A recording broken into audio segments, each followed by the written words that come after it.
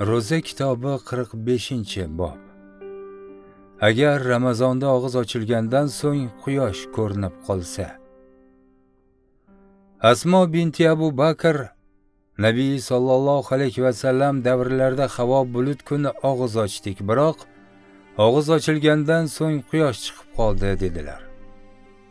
Mazkur hadis roviylaridan biri hishomdan o'sha kungi ro'zaning qazosini tutmoqni buyurdilarmi deb so'rashganda u kishi ro'zaning qazosini albatta tutmoq lozim deb javob qildilar. Ma'mar ersa hishom o'shanda ro'za qazosini tutishganmi yo'qmi bilmadim deb aytgan edi deydilar. Ro'za kitobi 46 bob. Yosh bolalarning ro'za tutmog'i haqida. Umar roziyallohu anhu ramazonda may ichgan nashvon degan kishiga yosh bolalarimiz ro'za tutsalaru sen may ichib yursang. Bu qilmishing uchun do'zax azobiga giriftor bo'lg'il deb sakson darra urdilar. Rabiy binti muavvaz rivoyat qiladilar.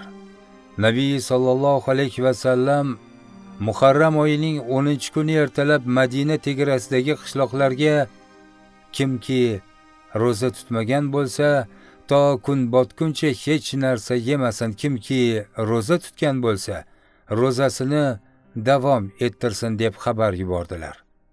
O'sha kuni o'zimiz ham yosh bolalarimiz ham ro'za tutgan edik bolalarimiz qorinlari ochib yig'lasalar ularni iftorgacha ovuntirish uchun bo'yalgan jundan o'yinchoqlar yasab bergan erdik.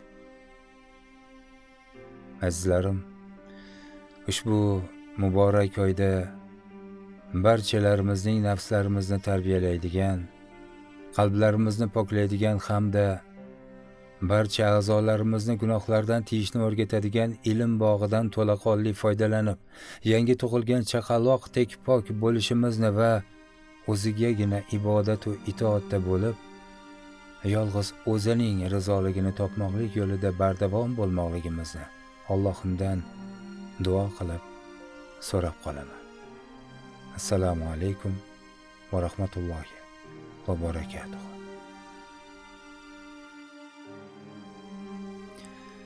Havo ancha issiq.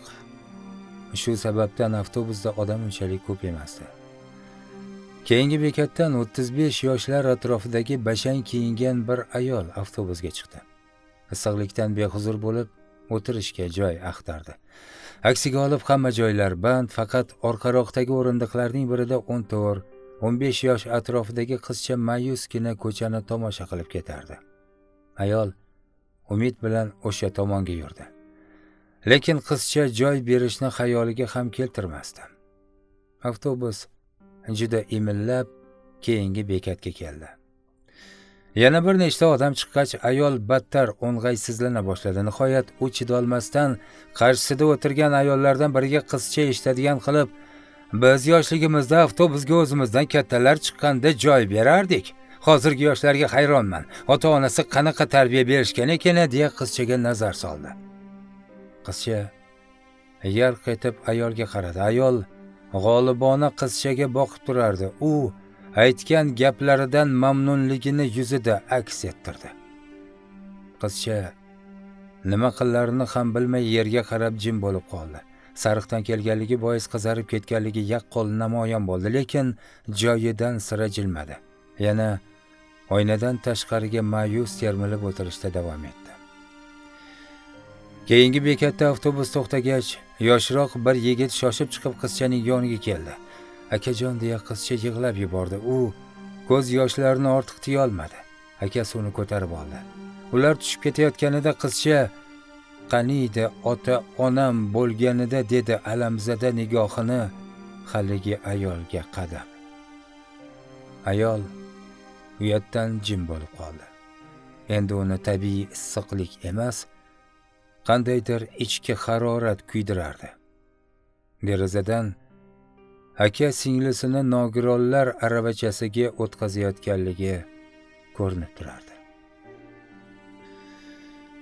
Xulosa o'rnida shuni ta'kidlash joizki hayotda ba'zan tashqi ko'rinishga qarab shoshilib baho berib qo'yamiz.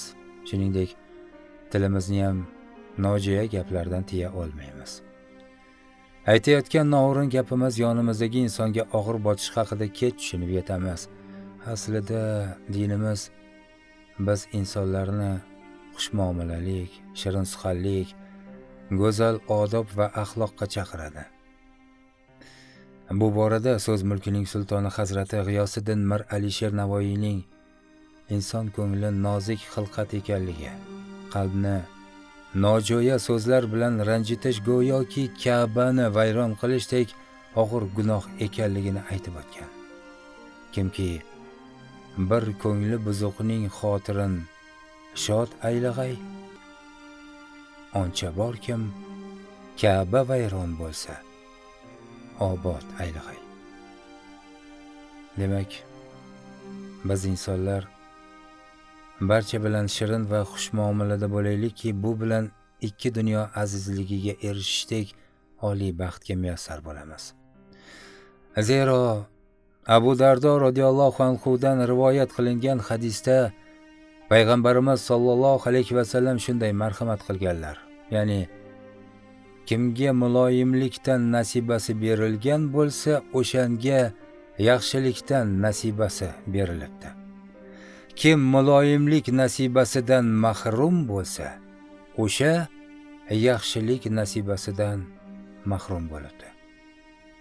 Qiyomat kuni mo'minning mezonida eng og'ir tosh bosadigan narsa husni xulqdir. Albatta Alloh fahshchi va uyatsizni yomon ko'radi dedilar. E'tiboringiz uchun rahmat. Xulosa esa o'zimizdan azizlar.